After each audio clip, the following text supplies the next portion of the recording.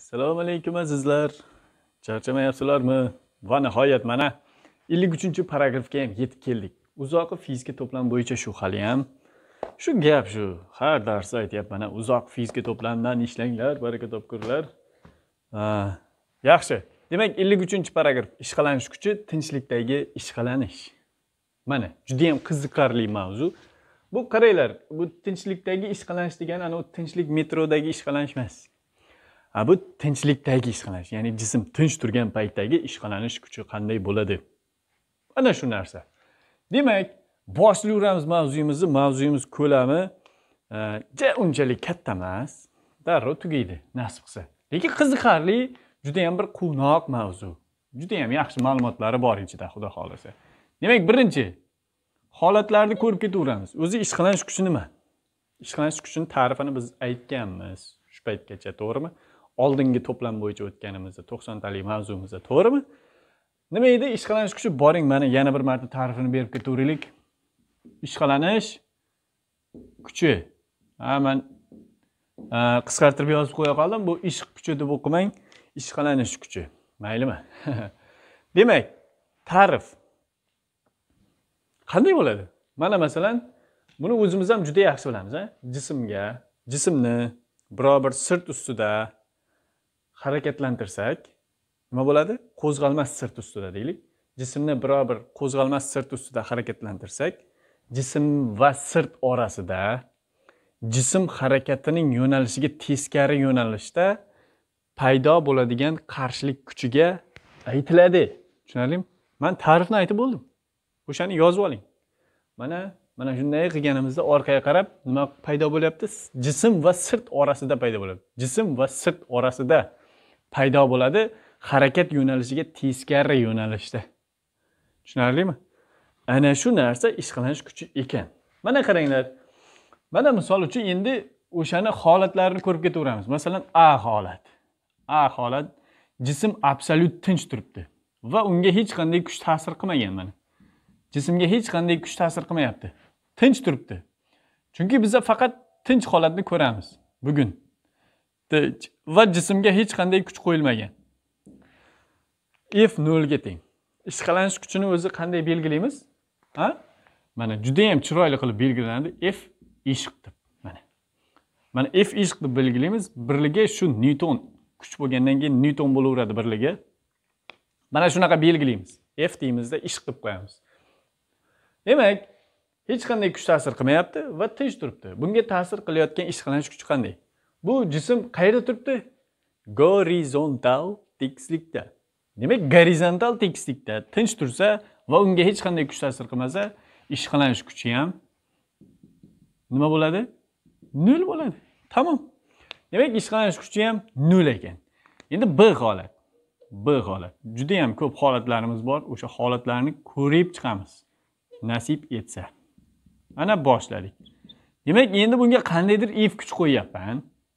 Lekin bu nima bo'lyapti? Haliyam tinch turibdi.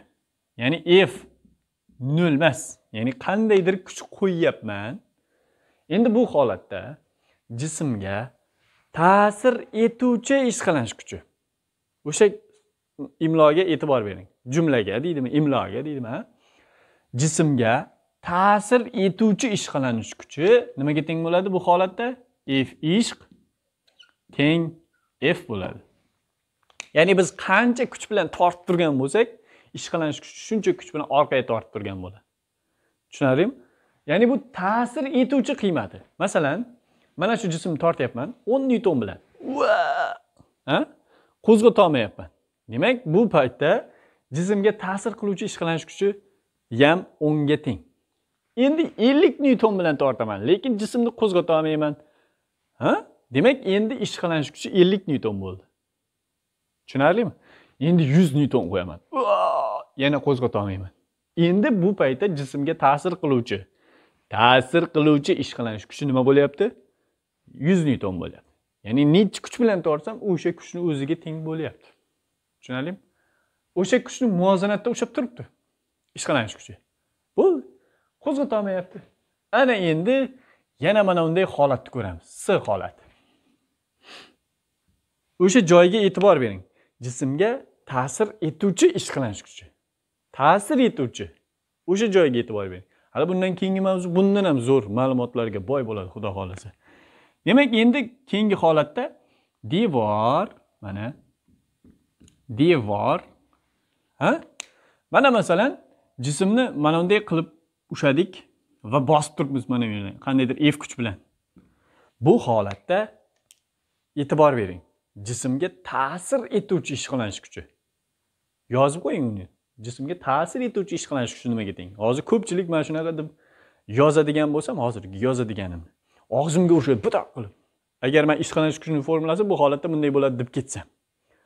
O'qituvchilarda ko'pchilik. Demak bu holatda f ishqalanish ya'ni ta'sir etuvchi qiymati nimaga teng bo'ladi? Ya'ni qarang jismga pastga qarab nima ta'sir qilib turibdi? Mana bunday ishqalanish kuchini yo'nalishini belgilab ketmanmiz mana hamisha jism va sirt orasida bo'ladi ishqalanish kuchi. Tushunarlimi? Aynan mana shunday belgilanadi. Jismga biror bir kuch qo'yilgan bo'lsa uni hamisha markazidan qo'yamiz kuchni. Tushunarlimi? I ishqalanish kuchi bo'lganda jism va sirt orasidan harakat yo'nalishiga teskari yo'nalishga qo'yiladi. Tushunarlimi? Paydo bo'lyapti. Endi bu yerda ham pastga nima bor jismni? Mana og'irlik kuchi markazdan olyapmiz. Emchisi bor. Endi sirt bo'ylab orqaga nima ta'sir qiladi? F ishqalanish. Endi diqqat qilasiz. Bu yerda ham ishqalanish kuchining ta'sir etuvchi qiymatini so'rayapti. Va aytyapmanki jismga ta'sir qiluvchi ishqalanish kuchi ya'ni mi oy uchir uchir uchir. Sizlar ko'rmadinglar man yozmadim maylimi? Ta'sir etuvchi qiymati mana. Qanday bo'lganda bu muvozanatda turadi? Pastga tushib ketmang. Ishqalanish kuchi mana bu kuchga teng bo'lganda to'g'rimi? Ya'ni pastga tushib ketmasligi uchun bu yoqqa qandaydir kuch qo'yib qo'yishim kerak. Ana o'sha kuchimiz ishqalanish kuchi bo'lib turibdi bu yerda. Ya'ni mana bu bosishimiz natijasida paydo bo'lyapti ishqalanish kuchi. Tushunarlimi? Endi bu holatda jismga ta'sir etuvchi ishqalanish kuchi emjini o'zi bo'ladi. Tushunarlimi? Mana. Endi yana holatni ko'ramiz. Endi a b s bo'ldi. D d holati a b c d e f g deydiku ha? Biza shunaqa yodlaganmiz. Doiraviy disk bor masalan. Disk bor disk aylanib turibdi. O'shani ustidan ustiga biror bir jismni qo'yib qo'ysam tinch turishi kerak. Bu qandaydir v tezlik bilan aylanyapti deylik. Ha? Mana shunaqa bo'lyapti. Endi bitta jismni qo'yib qo'ysam u nima qilmasligi kerak? Otilib ketmasligi kerak. Qandaydir masofada qo'yishim kerakda mana qandaydir masofada shunday bir e, narsani qo'yib qo'yishim kerak eng massali. Mayli massasi ham bo'lsin. O'sha narsamiz diskni ustidan otilib ketmasdan o'sha yerda diskni ustida mazza qilib aylanib tursin. Tushunarlimi? Endi doiraviy diskda shu. Endi aynan boyagi kompakt disk bo'lishi shart emas. Demak endi bunga qanday kuchlar ta'sir qiladi? Bu yoqqa qarab f MQ ya'ni markazdan qochma kuch. Bu yoqqachi ishqalanish kuchi to'g'rimi? F ishqalanish. Bu markazdan qochma kuch olib ketaman deydi lekin ishqalanish kuchi orqaga tortib turibdi. Tushunarlimi? Jism va sirt orasida ishqalanish kuchi paydo bo'ladi. To'g'rimi? Endi ana shu qachon muvozanatda turadi? F ishqalanish kuchi nimaga teng bo'lsa? F markazdan qochma kuchga teng bo'lsa bu nima bo'lmaydi? U yoqqa otilib ketmaydi. Tushunarlimi? Endi bu yerda ham jismga ta'sir etuvchi ishqalanish kuchi nimaga teng bo'lar ekan? M v kvadrat taqsim r bo'lar ekan mana. Tushunarlimi? Mana demak e, bu holatda mana bunday bo'lyapti. Endi v ni o'rniga omega ko'paygan r qo'ysak bo'ladi. Omega nima edi? Endi buni bilishlaringiz shart. Omega bu burchak tezligi mana bu diskni aylanishdagi burchak tezligi. O'tganmiz bu narsani. Omega r qo'yadigan bo'lsak e, nima paydo bo'ladi? F ishqalanish. Bu holatda teng bo'ladi. M omega kvadrat r bo'lib qolar ekan mana. Tushunarlimi? Mana buni bu yerga olib kelib qo'ysangiz ya'ni bu burchak tezlikka bog'lanishi xolos. Bu masalamiz hal tugadi. Yo'q hali tugamadi lekin nimalarimiz bor hali? Misollarimiz. Yana bitta misol qoldi. Shuning bilan keyin darsimiz tugaydi. O'zi aytdimku qisqachagina mavzu lekin ma'nosi yaxshi. Ancha bir e, mazza qilib ishlaydigan mavzuda bu to'g'risi borku man judayam mazza qilaman. Mana shu e, ishqalanish kuchiga doir kuchlarga doir masalalarni yechganimda ana. Demak keyingi abcdni ko'rdik. Iga kelamiz. Ya'ni ega. A b c d e f g. E deb o'qiladida bu inglizchada e. O'zi e. A b c d e f g h i j k l m n p edi hammayli. Demak endi gorizontal tekislikdan yiroqlashamiz. Gorizontalni ko'rdik vertikalni ham bittasini ko'rdik bo'ladi. Endi e, gorizontga qiya holatni ko'ramiz mana. Gorizontga qiya. Qanday bo'ladi ishqalanish kuchimiz bu holatda? Jism muvozanatda turishi uchun. Mana misol uchun jism turibdi.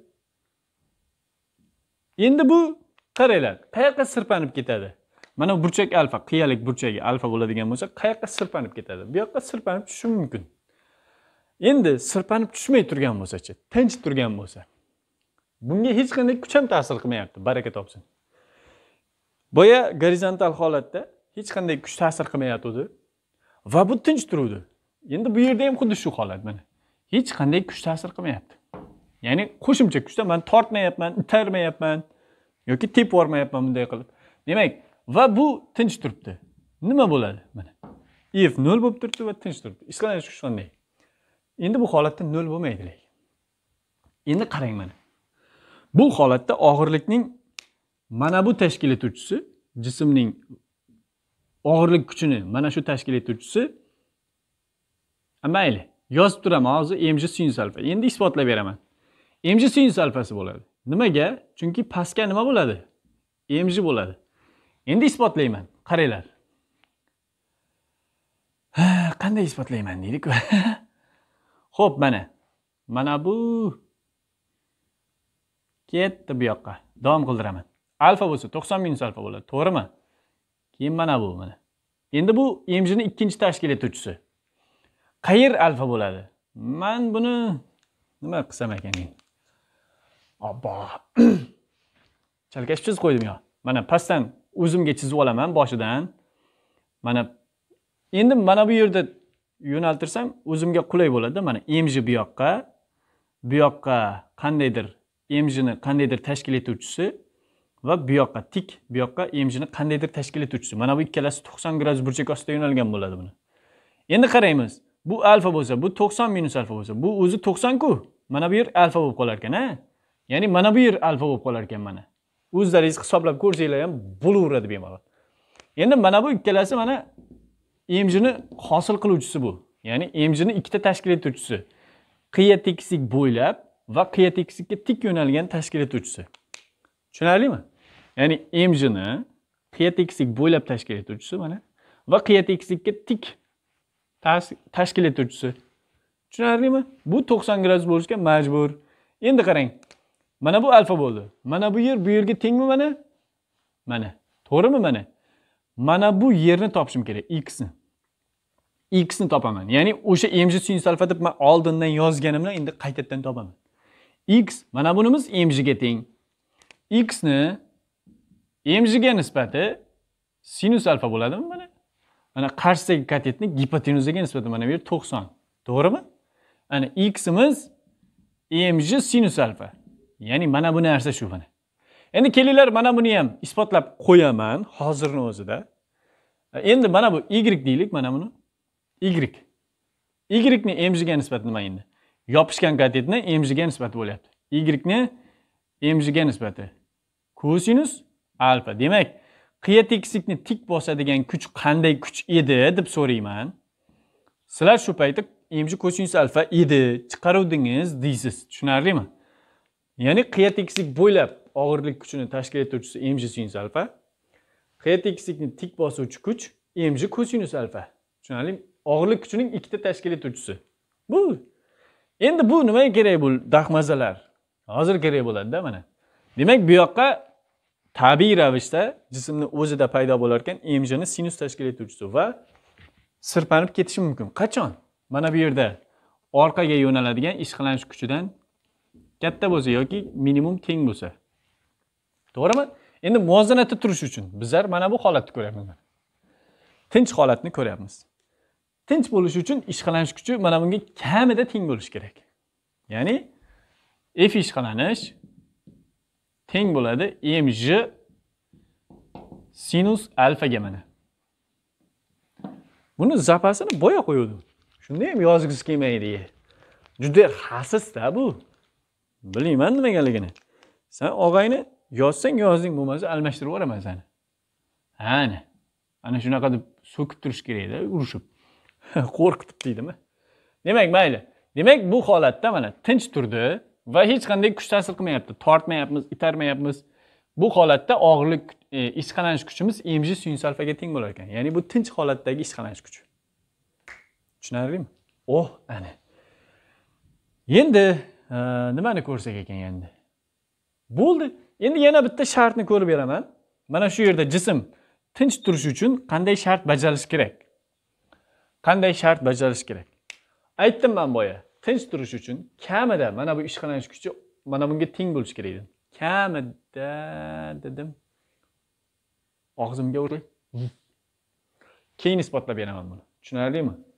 Chunki hali biz ham miu mg kosinus alfa ishqalanish koeffitsiyenti degan narsani hali o'tmadik. Shuning uchun indamay turaman. Biz hali ishqalanish koeffitsiyenti degan narsani o'tmadik. Bu yerda masalasi bor ekan shunga isbotlab berib qo'ymoqchi edim. Oldindan mayli nima deymiz qani endi? Iloji yo'q. Isbotlab beraman turaversin shunday hozircha.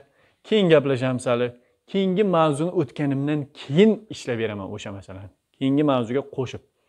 Chunki adashib tushib qolgan u o'zga sayyoralik demak ana video darslarimiz bu qismi tugadi. E'tiboringiz uchun rahmat. Demak darslarimiz boshqalarga ham ulashib qo'yinglar. Yoqqan bo'lsa o'sha narsa. Yozib qo'yinglar bir narsa deb. Ha mayli. Rahmat.